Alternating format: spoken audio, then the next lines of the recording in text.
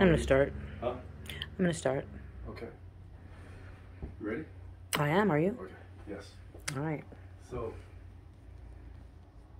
these video logs are called Ingmar Northcott and the Supreme Experience. This is me, obviously. Um, so what do we mean by supreme experience? Please, let's recall that um, the last time that we got together on this video, or I made a video, we were reading um, Thoreau's Cape Cod. Um, and we began speaking about likeness as an idea. So I'm asking, what is the supreme experience? And I describe the idea of likeness as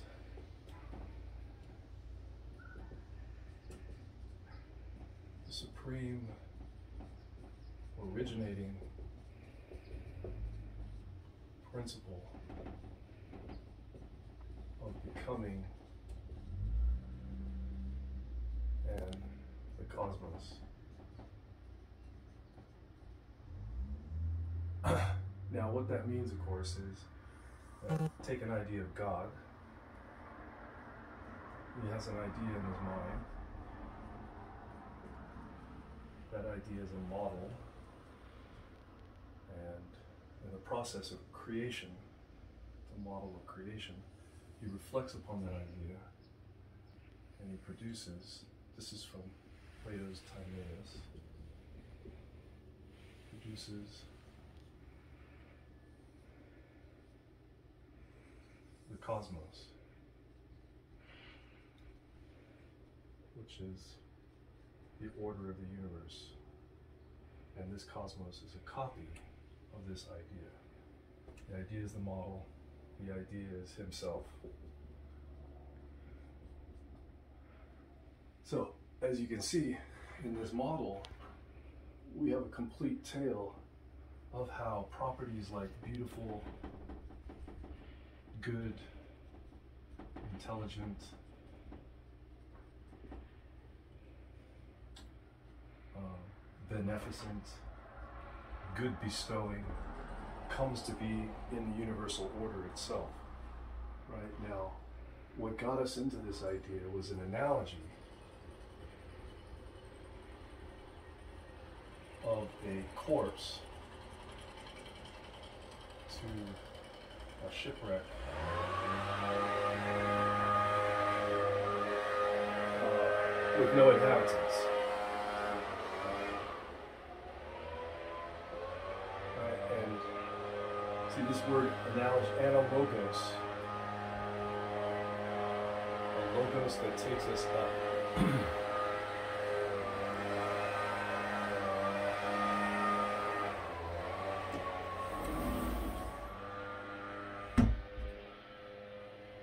So, right, in the universe, we can study things. This comes from a Pierre Grimes lecture. This is my teacher. As part of who I am is a student of this man who wrote this book called Is It All Relative, which has a very interesting section on analogy, called the study of analogy in the back. Things in their relations. Those are the two things that you can study in the universe, which I think is a very interesting statement, right? In, in as much as I can encompass it, the study of all things, as it were, in two categories.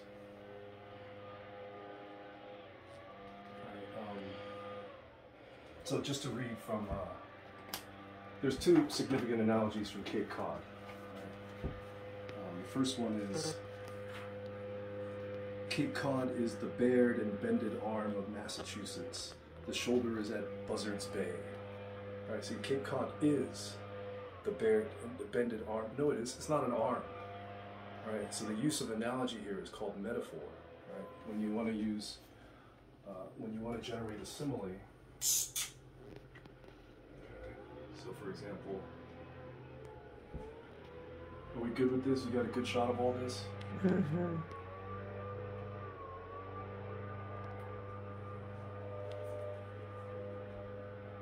Let's erase this.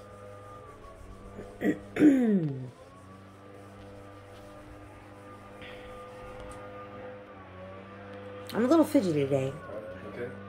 Um, It's not. so here's a basic four-term analogy. A is to B, as C is to D. Right? Uh, with analogies, I can use numbers. Types of analogies use numbers, symbols. These are symbols and ideas. Two is to four, and eight is to twelve. Excuse me. Eight is to sixteen. Uh, um, that's a four-term proportion. Uh, it can be expressed like this, obviously. Okay, or I can use ideas like a shepherd is to his sheep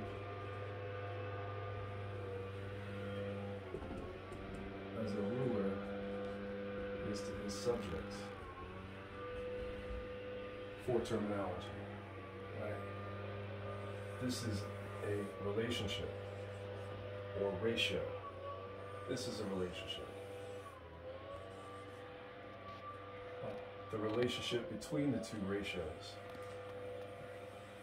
is a relationship. Um,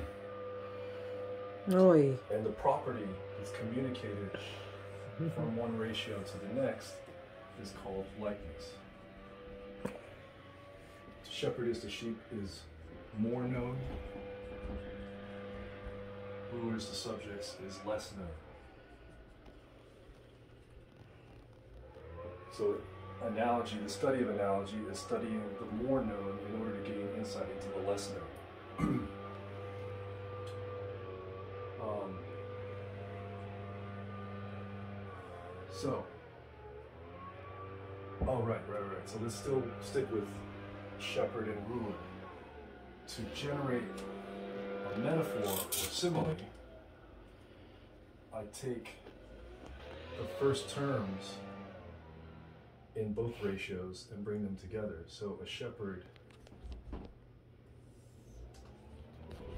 and I use to make similes like or as, and to make metaphors I use is. Similes,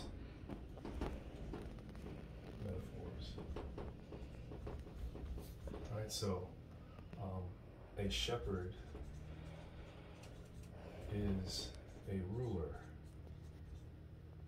Yes. No, he's not. This is a lie. But if I say of sheep, then it makes more sense. Right? But a shepherd is not a ruler in the sense of being a king or a politician or a magistrate. This is a lie. But if I say a shepherd is like a ruler, right, then I've got a simile. And I don't have a lie. oh, I see. Right? Simile. So when this guy says in Cape Cod, Thoreau, that Cape Cod is the bared and bended arm of Massachusetts, he's identifying uh, a body part of the human with geography, right? And therefore, how does that relate to the supreme experience, right? When you can start thinking of the organs of the universe or things of the universe like geography, land masses, particular locales in terms of their relationship with parts of the human body, now you're literally anthropomorphizing, anthropomorphizing, however you want to say that, the universe. Um, and that is to say, you're finding meaning by identifying a human body uh, with various aspects of Cape Cod. And it's very would be very interesting to do that. We're not going to do that, but this is the first use or a most significant use of analogy I found in this work.